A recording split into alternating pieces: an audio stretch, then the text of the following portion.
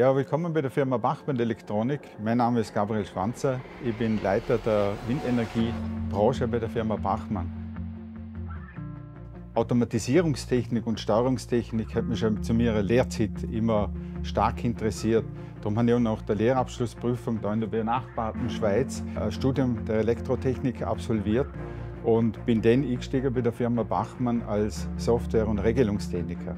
Da mich aber nicht nur die Technik alleinig interessiert hat, sondern auch das Umfeld im Unternehmen, habe ich den berufsbegleitend auch noch ein Wirtschaftsstudium gemacht und bin jetzt seit 35 Jahren da im Unternehmen tätig und beschäftige mich seit über 20 Jahren mit dem Thema Windenergietechnik.